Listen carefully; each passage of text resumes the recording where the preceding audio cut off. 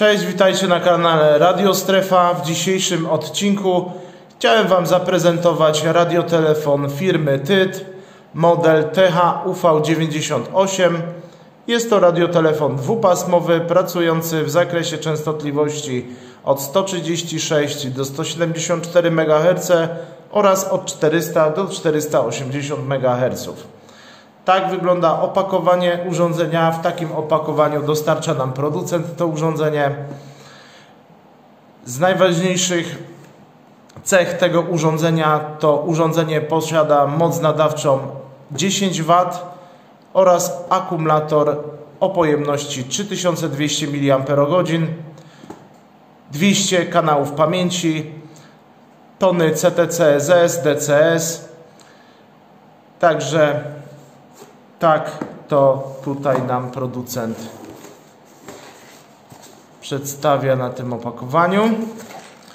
A w zestawie po otwarciu opakowania znajdziemy instrukcję obsługi. Instrukcja obsługi w zestawie jest w języku angielskim, ale wysyłamy na maila instrukcję w języku polskim, więc nie ma z tym problemu.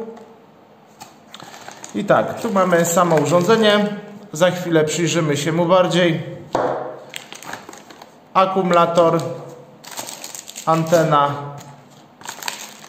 klips do paska, zasilacz sieciowy oraz podstawa do ładowania urządzenia. Podstawa tak wygląda. Można ładować sam akumulator albo całe urządzenie.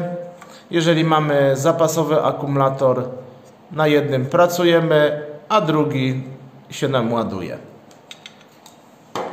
Z takich informacji zasilacz tutaj mamy e, od 110 do 260 V. Napięcie wyjściowe to jest 12,5 V. Co do amperażu tutaj nie mamy żadnych informacji. W zestawie oczywiście jest antena. Antena ze złączem SMA-F. E, przepraszam, złącze jest SMA-M. Tak. Yy...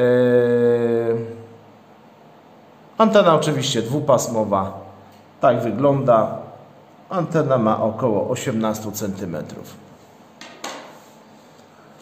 Klips do paska to standardowe wyposażenie wszystkich radiotelefonów. W zestawie mamy dwa wkręty. Akumulator. Tak jak wspomniałem wcześniej, 3200 mAh, 7,4 V. Ogólnie akumulator jest dość tutaj taki gruby, wybrzuszony. Na plecach akumulatora mamy miejsce na zamontowanie klipsu do paska oraz piny, poprzez które jest on ładowany. I samo urządzenie. Tak się nam tutaj radiotelefon prezentuje.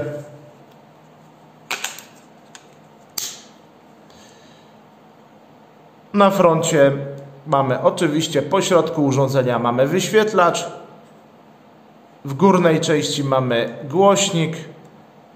Tutaj jest wbudowany mikrofon. Klawiatura numeryczna do sterowania urządzenia. Z góry urządzenia mamy gniazdo antenowe, latarkę LED oraz przycisk, yy, przepraszam, dioda, która sygnalizuje nam nadawanie bądź odbiór. I oczywiście potencjometr którym włączamy i wyłączamy urządzenie, jak również je podgłaśniamy.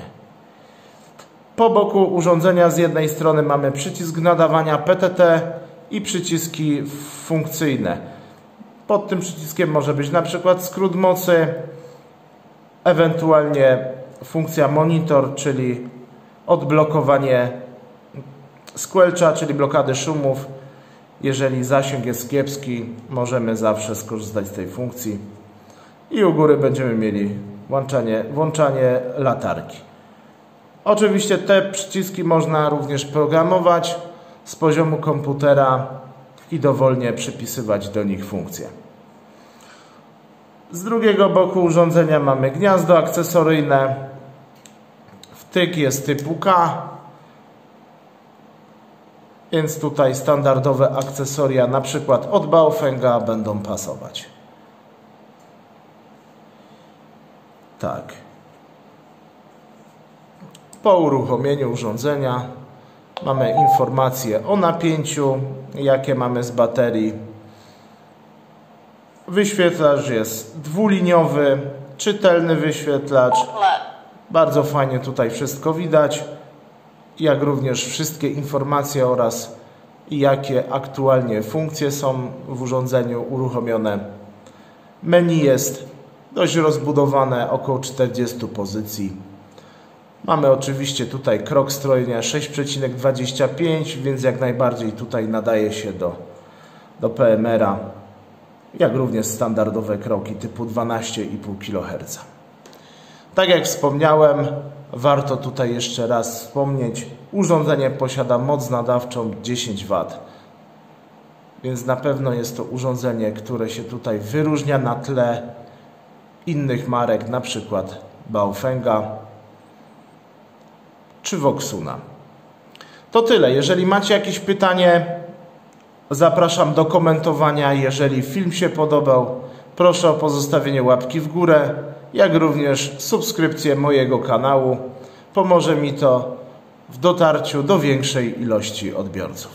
Trzymajcie się i do następnego. Cześć.